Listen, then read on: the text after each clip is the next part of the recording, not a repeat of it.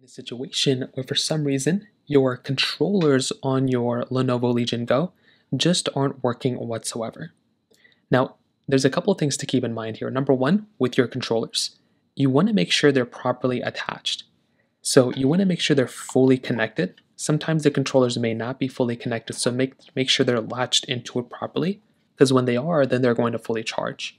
They're wireless, but they need to be connected in order to actually go through and actually be used and to be charged up. So go through, try connecting them that way, and that's going to be one of the big things you can do.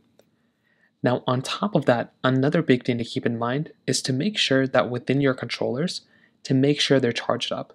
These controllers are charged up from the console themselves, so make sure that your controller and your console are fully connected. That's another thing I'd recommend doing. Now, on top of that, you can also open up the Legion, you know, application right here. And what you can do is you can open up this particular application. So you can just double tap on the screen if your controllers aren't there and you can navigate all the way to the controllers portion. So at the top, there's going to be profile, there's going to be store. What you want to do is you want to go to the controllers portion, which is right up at the top. So click on controllers, which is right there. And then what you're going to want to do is you want to see this controller mode. If you see your controllers up here, then you should be good.